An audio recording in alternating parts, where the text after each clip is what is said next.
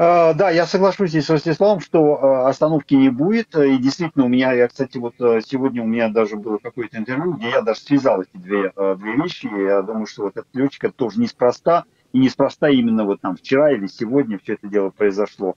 Вот, это, кстати, уже озвучивало несколько человек таких известных, ну, которые более себя позиционируют как политические деятели.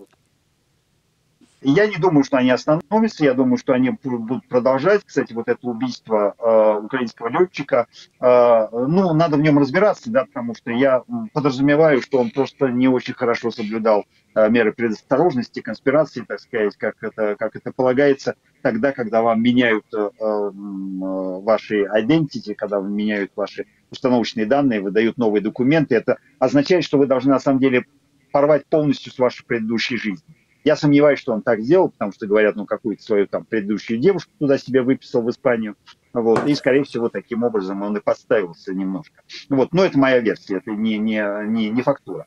Вот, а, ну, а действительно, э, э, я согласен с Ростиславом в том, что сейчас э, э некий срач э, ушел, что действительно э, сплочение – ну вот видите, даже вот та новая фигура, которая, э, на которую как бы поставила оппозиция, а именно э, Юлия Навальная, которая как бы, ну, вдова убиенного, вот, э, и такая, ну, может она стать на самом деле объединяющей фигурой.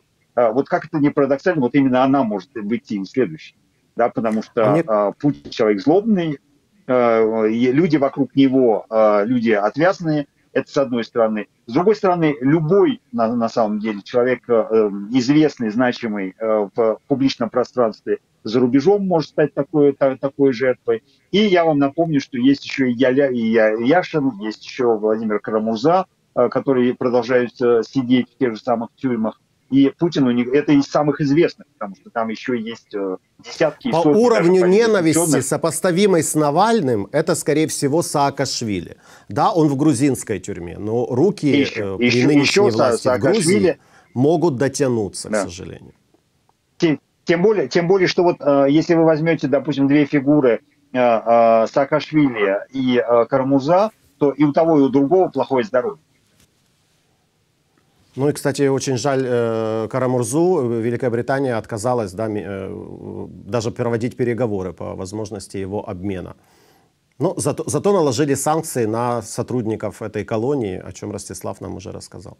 Ростислав, как вы считаете, Саакашвили, все-таки это будут убийства в тюрьмах и дальше. Потому, понимаете, это же, если он уже начал циничные убийства, которые не оставляют сомнений в том, что это именно он, мне кажется, он будет продолжать именно в этом циничном направлении.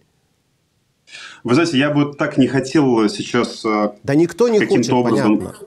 провоцировать какие-то такие вещи, обсуждения и так далее. Это же живые люди. Володя Кармурза, добрый товарищ мой уже много лет, и я в ужасе от того, что с ним может произойти. Да с любым из тех, кто там находится. Они же ведь еще и... Они же несгибаемые ребята, что Карамурза, что Яшин. Они же говорят те вещи, которые вот мы-то все говорим издалека и более или менее находясь так или иначе в безопасности.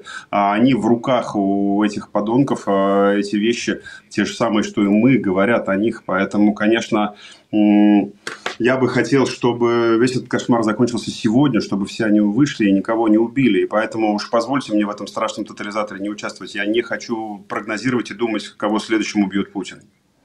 Давайте другую смерть обсудим, которая чуть не прошла незамеченной. Убы... Э, смерть сына главы Роснефти, Сечина. Да, 35 лет э, было этому человеку. Я, я уверен, что вы внимательно изучали, Сергей, э, эту новость. Есть нам что там обсудить или нет? Или это проходное событие, в общем-то? Нет, ну это событие не проходное, потому что... Ну, проходное в том смысле, деле... что все люди когда-то умирают, да. Ну, все люди умирают, но не в 35 лет, и когда вы э, являетесь миллиардерами и сыном э, там, кооператива «Озеро», который якобы даже по некоторым данным, там управляет всей Россией, да, царя, царя всея, всей Руси. Нет, конечно, это, это значимая смерть, это, это непростая, это символическая тоже смерть. А, другое дело, что то, что я видел, а, пока что, в общем, не, не а, исключают вариант какого-то там, ну, может быть, слишком большого возлияния или слишком большого использования наркотиков.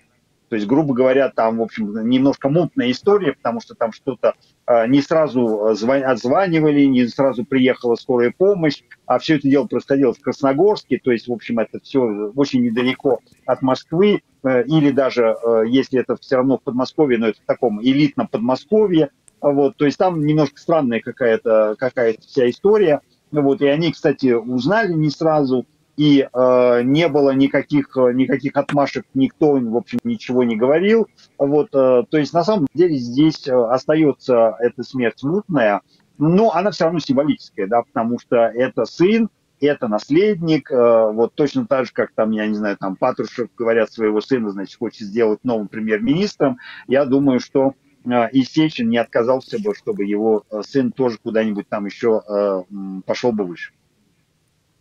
Ростислав. Ну, что касается, что касается детей элитарных в России, здесь Сергей прав, они достаточно часто бывают подвержены разнообразным порокам, но я угу. бы здесь меж, такую, знаете, внутривидовую конкуренцию тоже бы не сбрасывал со счетов, поскольку, ну, знаете, когда на э, кону стоит вся Россия и их э, вот это вот э, всевластие еще на много лет вперед, то, в общем, нельзя исключать ничего.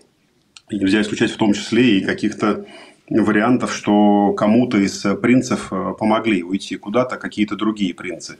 Поэтому у этих людей нет тормозов, они друг с другом грызутся так же отчаянно. И вот а, то, о чем мы с а, замечательным Липсицем у вас же в эфире говорили, Алексей, а, в общем-то, это ведь уже идет, этот процесс. И уже эта грызня, она, в общем-то, перешла из под ковра уже вот в медиа, она уже громкая она уже вовсю заметна. Они друг у друга отжимают бизнесы, они друг у друга отнимают кормушки. И посмотрите на количество смертей вообще э, э, еще вроде бы не больных и не старых путинских вот этих управленцев э, в всех сферах, которые дают им как раз сверхприбыли.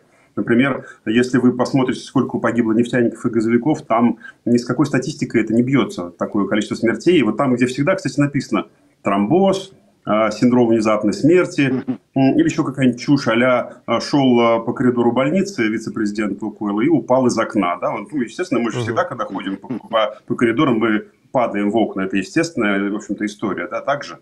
Вот. Я все время так делаю, не знаю, как вы. Вот, соответственно, понятно, что, понятно, что друг друга они убивают с удовольствием тогда, когда им это приносит дивиденды. Поэтому вот об этих смертях, вот да, поговорить можно. Я думаю, что Э, там это не последняя, далеко десятка, наверное, таких смертей еще там случилось и началась. Там, Поэтому...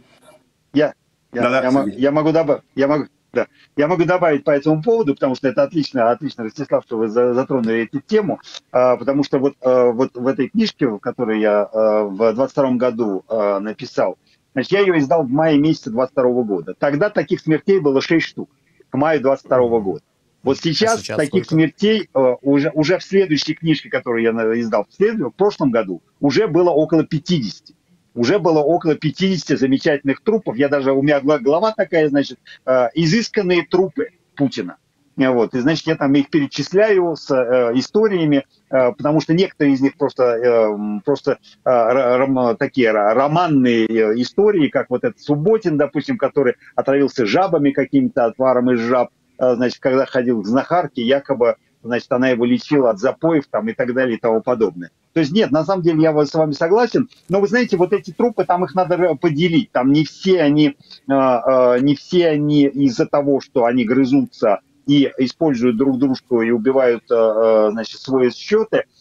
Очень много финансистов «Газпрома» и «Новотека» И это, мне кажется, это просто удаление было свидетелей, потому что там удалялись топ-менеджеры, которые знали все проводки. Потому что мы же понимаем, что ни Путин, ни Патрушев, никто из этих э, бонс кооператива озера никогда не знает, на какой счет, когда, какую сумму перечислили. Просто есть у них там управленец, который, у которого есть компьютер, на котором все это дело ведется. И вот, вот среди этих э, э управленцев сначала падеж начался.